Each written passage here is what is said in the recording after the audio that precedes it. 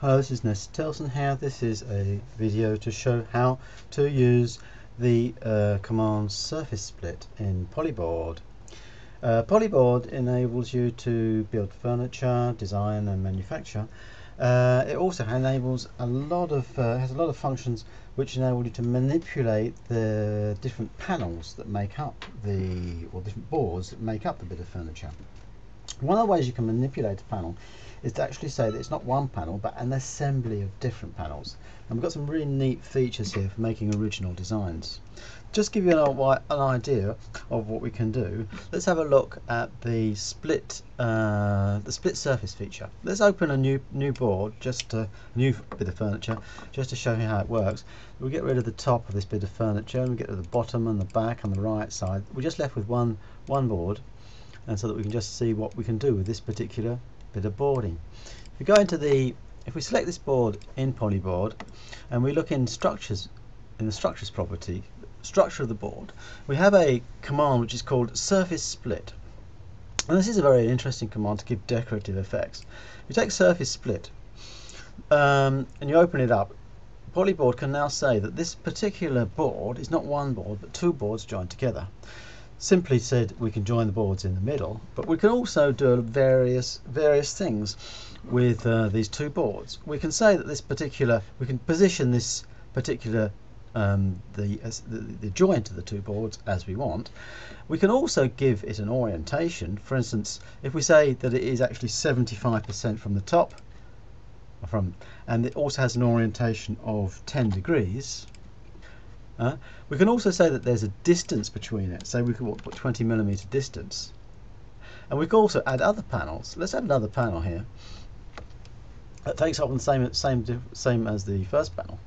Uh, and what is also possible is we can also it's not just a straight line, but it can be any shape. In fact, so we so we want to do, for instance, a wavy shape.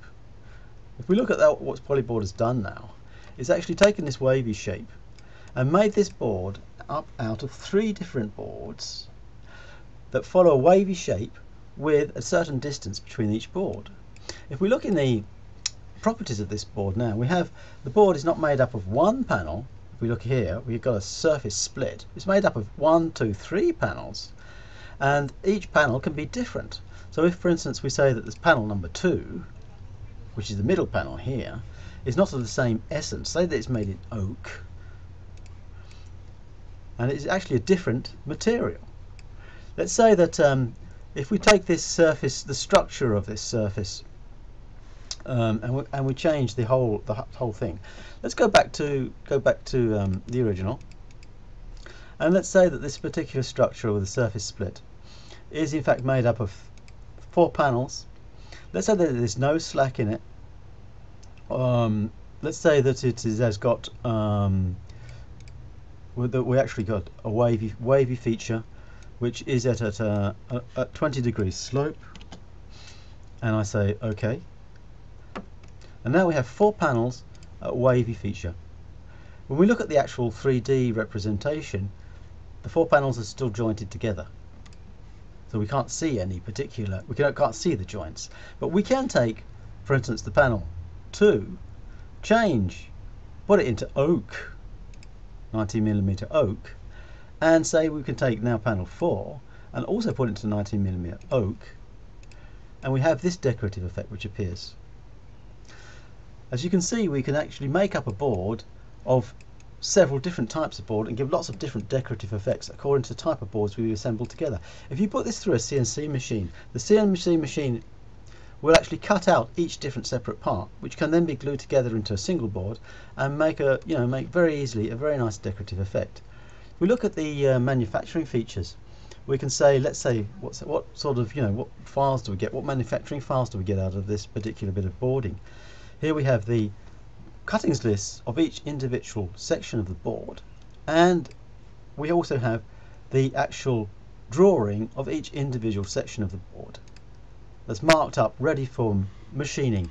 And the machine files are ready to go straight on your CNC and the boards can be cut out with a CNC machine and you can just glue them all together and off you go and you will actually get you know make yourself some very nice patterns.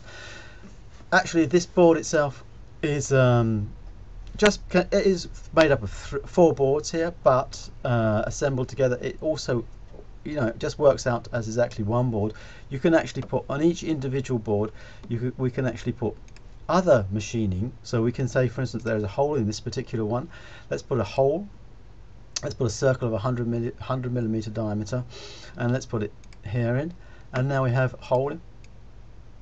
So as you see, we can build up uh, the board and we can machine the board in a very, very supple, you know, it's very, very uh, supple way. It's very versatile and we can really do some very neat things. So I hope this has been interesting to you and I hope you can see, you know, get a, just get a quick view of the possibility, the, the decorative design possibilities of this software, which is, you know, really fantastic. Very, very fantastic. Thanks very much for looking and see you again soon. Bye.